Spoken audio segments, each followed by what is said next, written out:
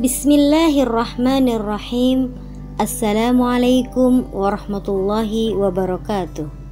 Sahabat Lentera Qurani yang dimuliakan Allah Subhanahu wa taala, semoga sahabat semua dan keluarga tercinta sehat walafiat, terus semangat melaksanakan kebaikan dan ketaatan.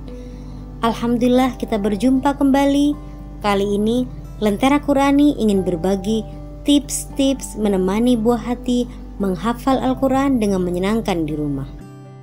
Ditutupnya sekolah untuk sementara selama pandemi membuat anak-anak harus melanjutkan belajarnya di rumah. Karena para guru tidak mungkin datang ke setiap rumah, maka orang tua atau pengasuh yang akan menjadi guru bagi anak-anak di rumah. Bila tidak terbiasa mendampingi anak belajar atau menghafal Al-Quran di rumah, tentu ini akan menjadi tantangan baru bagi para orang tua. Banyak sekali orang tua yang masih galau, bahkan kalang kabut menghadapi masalah ini. Semoga Tips berikut ini bisa membantu memberikan solusi dan menjadikan belajar atau menghafal Al-Quran di rumah menjadi happy. Langkah pertama yang akan kita lakukan adalah menciptakan suasana Qurani di rumah. Kita rutin memutar murattal Al-Quran, kita menghias dinding-dinding rumah dengan hiasan-hiasan yang bernuansa Qurani, kita putar acara televisi seputar hafid-hafid Al-Quran, sehingga apa yang anak-anak dengar adalah Al-Quran dan yang mereka lihat pun adalah Al-Quran. Tips kedua, mengetahui dan memahami gaya menghafal anak. Karena anak-anak memiliki gaya menghafal yang berbeda-beda. Ada dua tipe gaya menghafal anak. Yang pertama dengan mendengar, yang kedua dengan melihat. Apabila anak suka dengan gaya mendengar, maka kita bantu dengan menyetel murattal supaya anak-anak selalu mendengarkan ayat-ayat Al-Quran, baik kita berada di rumah atau saat berkendara di mobil atau di mana pun kita berada. Ketiga, ikut terlibat langsung.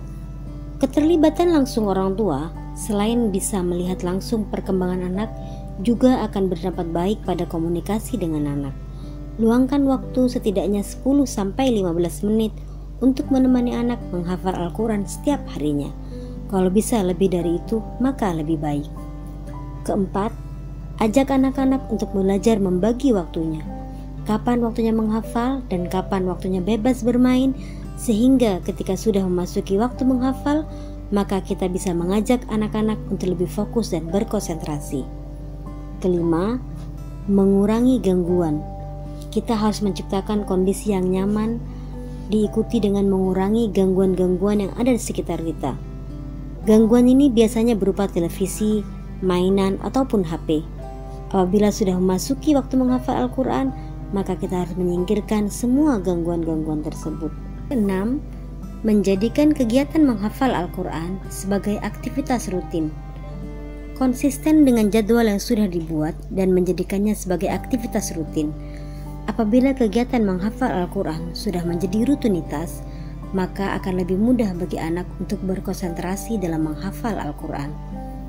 Ketujuh, mengulangi atau merojaah hafalan sesering mungkin.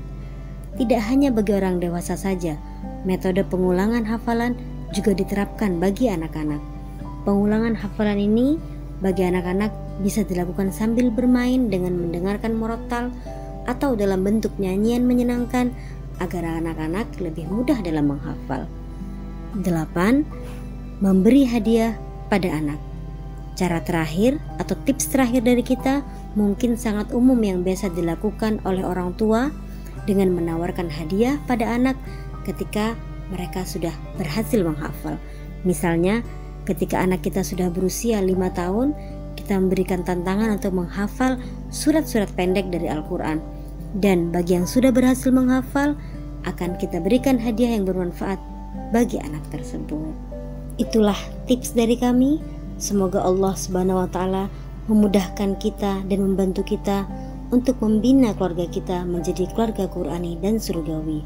Selamat mencoba.